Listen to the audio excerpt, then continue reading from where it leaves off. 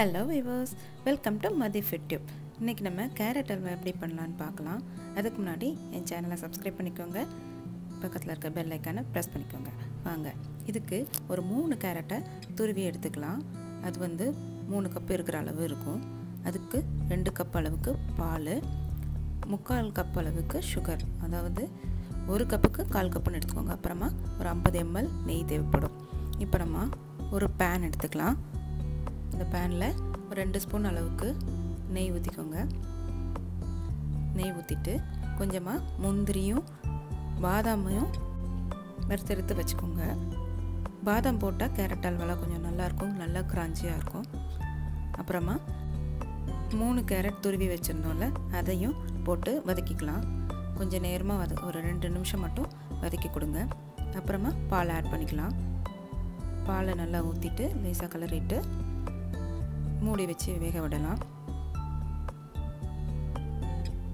பால்லையே தான் வேகணும் கேரட்டு. அப்போ தான் டேஸ்ட்டு நல்லாயிருக்கும்.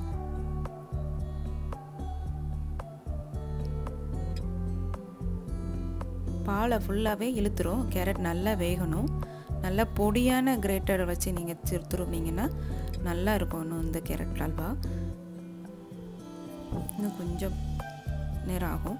நல்லா கலரி கொடுத்துட்டு திரும்ப மூடி போட்டு மூடி வேக விடுங்க. பாலை ஃபுல்லாக இழுத்து ஓரளவு இழுத்த பிறகு நம்ம இது கூட சுகரை சேர்த்துக்கலாம். ஓரளவு நல்லாவே இழுத்துருச்சு இப்போமா நம்ம சுகர் போட்டுக்கலாம்.